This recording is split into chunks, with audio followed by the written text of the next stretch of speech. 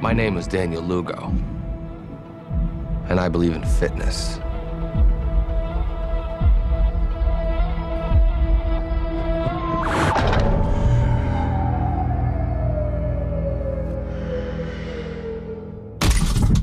The events you are about to see took place in Miami, Florida, between October 1994 and June 95. Unfortunately, this is a true story.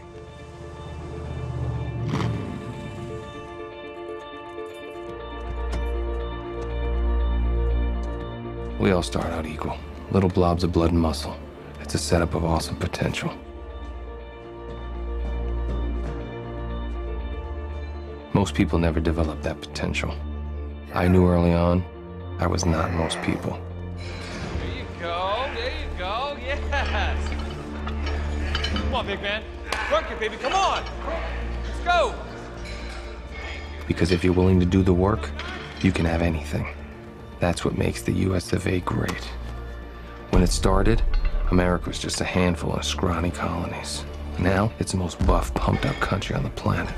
That's pretty rad. Yeah. That's it? Work harder. Oh, Adrian's on the juice. What up, DL? Most people say they want to look better. Not everyone's willing to do whatever it takes to achieve it. All of my heroes are self-made. Rocky, Scarface, all the guys from The Godfather, they all started out with nothing and built their way to perfection. The way to prove yourself is to better yourself. That's the American dream. I have no sympathy for people who squander their gifts. It's sickening. It's worse than sickening. It's unpatriotic. Greatest day of my life.